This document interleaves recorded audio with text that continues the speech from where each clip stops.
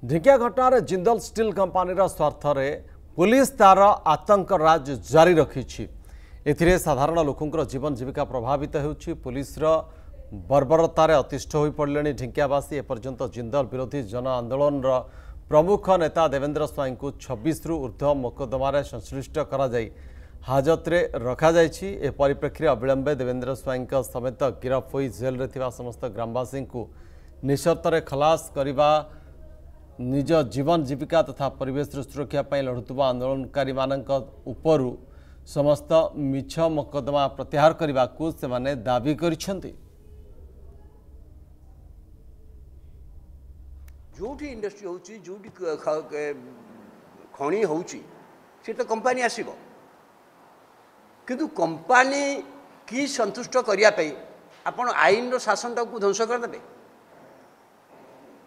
ଆଇନର ଶାସନ ହେବ ନା ନାହିଁ ଏ ରାଜ୍ୟରେ ସେଇଟା ହେଉଛି ମେଜର କଥା ଆପଣ ପରିବେଶ ମଞ୍ଜୁରୀ ପାଇଲା ବାହାରିଲା ପରିବେଶ ମଞ୍ଜୁରୀ ପାଇଲା ପରିବେଶ ମଞ୍ଜୁରୀ ଆଇନ ଅନୁସାରେ ଚ୍ୟାଲେଞ୍ଜ ବି ହେବ ଚ୍ୟାଲେଞ୍ଜ ହେବ ସିଏ ଗୋଟେ ଆଇନଗତ ବ୍ୟବସ୍ଥା କରାଯିବ କିନ୍ତୁ ସେଠି ଲୋକମାନଙ୍କୁ ଖାଲି ସେଇଠି ନୁହଁ ଢିଙ୍କିଆରେ ନୁହେଁ ମୁଁ ମାଳି ଯାଇଥିଲି ଯେଉଁଦିନ ସେଇ ଅବସ୍ଥା କାଲି ସୁପ୍ରିମକୋର୍ଟ ଆପଣ ଦେଖିଛନ୍ତି ଗୋଟିଏ ଘଟଣାରେ ବହୁତ ଗୁରୁତ୍ୱପୂର୍ଣ୍ଣ ନିର୍ଦ୍ଦେଶକ ଦେଇଛନ୍ତି ରାଜ୍ୟ ସରକାରଙ୍କୁ ଖଣି ଅଞ୍ଚଳରେ ଲୋକ ଥଇଥାନ ହେଇନାହାନ୍ତି ଆଇନ ଅନୁସାରେ।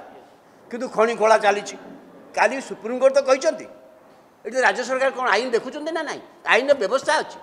ସେ ଆଇନର ବ୍ୟବସ୍ଥାକୁ କାର୍ଯ୍ୟ ନ କରିକି ଏମ୍ ସି ଏଲ୍ ବାଲା ପୋଲିସ ଲଗାଇ ଲୋକଙ୍କୁ ହଟେଇ ତାଙ୍କର ଖଣି କରୁଛନ୍ତି କିନ୍ତୁ ଲୋକ ଥଇଥାନ ହେଇନାହାନ୍ତି। ଶେଷରେ ସୁପ୍ରିମକୋର୍ଟରୁ ଏ ରାୟ ଆସିଲା। ଏଇଟା ସବୁଆଡ଼େ ମୋର କହିବା କଥା ସବୁ ସ୍ତରରେ ଏ କଥା ହେଉଛି। ଆଉ ଢିଙ୍କିଆରେ ଏଇଟା ଅତ୍ୟନ୍ତ।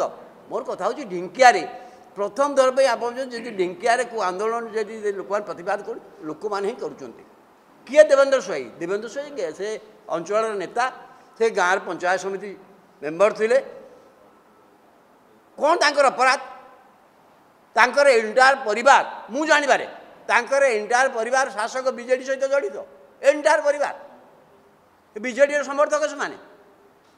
କିନ୍ତୁ ତାର ଯେହେତୁ ଗାଁରେ ସିଏ ଅଛି ଗାଁ ଲୋକଙ୍କ କଥାରେ ସିଏ କହିଲା ଏବଂ ସେଇଥିପାଇଁ ତା ବିରୁଦ୍ଧରେ ଏତେ କ୍ରୋଧ କ୍ରୋଧ ହେଲା ଠିକ୍ ହେଲା। ଏ ଦେଶରେ ତ ଆଇ ପି ଏସ୍ ଅଫିସର ବି ଗିରଫ ହେଇଯାଉଛନ୍ତି ଯେମିତି ଏ, ଉଁ, ଇଏ ଠାକୁର ବି ଗିରଫ ହେଇକି ଜେଲ୍ ରହିକି ଆସିଲେଣି।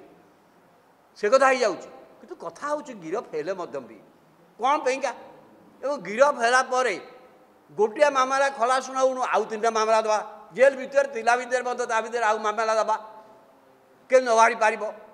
ଏବଂ ଯେତେବେଳେ ସୁ- ହାଇକୋର୍ଟରେ କହିଲା ସରକାର ଯେ ସବୁଠି ଏଠି ଶାନ୍ତ ଅବସ୍ଥା ଆମକୁ ମଧ୍ୟ ଯେଉଁ ଯାଇଥିଲୁ ସେଇଟା କହିଲେ ଆଜ୍ଞା ଶାନ୍ତ ଅବସ୍ଥା ଶାନ୍ତ ଅବସ୍ଥା ଯେଉଁଠି ସରକାର କହୁଛନ୍ତି ପୋଲିସ କହୁଛନ୍ତି ସେଠି ଏବେ ବି କାହିଁ ଗିରଫଦାରୀ ଚାଲିଛି କିଏ ଗଣ୍ଡଗୋଳ କରୁଛି